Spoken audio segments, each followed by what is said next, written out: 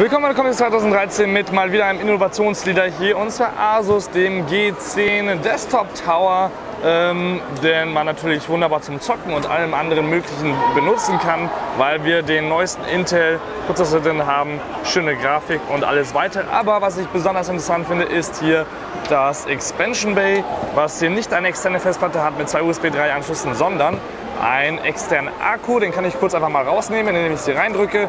Und dann könnt ihr sehen, hier hinten wird das Ganze per Micro-USB sozusagen am Computer, äh, nee, per diesen Anschluss am Computer angeschlossen. Per Micro-USB können wir das auch extern laden. Und das gibt über zweimal USB äh, hier entsprechend bis zu 2,1 Ampere aus über 5 Volt. Ansonsten wirklich sehr schickes Ding. Ich glaube, das hat 5000 Milliampere.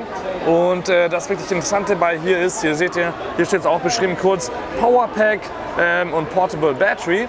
Und zwar geht es dabei darum, dass ich das Ganze hier schön einstecken kann. Dann leuchtet das so schön. Und hier ist so viel Akkustrom mit dabei, dass ich hinten jetzt einfach den Strom rausziehen kann. Was ich natürlich machen kann. So, ihr seht, der Stromkabel ist gezogen, der Akku ist hier an und der Rechner läuft noch hier verbunden mit dem Bildschirm. Wow. Natürlich, nach, kurze Zeit später fährt das Ganze runter. Das geht eigentlich hauptsächlich darum, dass man hier ähm, Strom ja, nicht nur unbedingt spart, sondern äh, bei Stromausfall entsprechende Sicherung äh, hat, wenn man gerade zockt oder ähnliches. Ist natürlich sehr schön. Ähm, ich kann es jetzt mal wieder angesteckt und dann können wir den Rechner wieder hochfahren. Ähm, normalerweise sollte das bis zu 5 bis 10 Minuten halten, aber das ist natürlich jetzt noch hier nur eine Demo und tada, schon sind wir wieder da. Hier können weiter Film schauen und weiteres. Wir haben in der Idealversion gar nicht erst äh, gemerkt, dass wir einen Stromausfall hatten.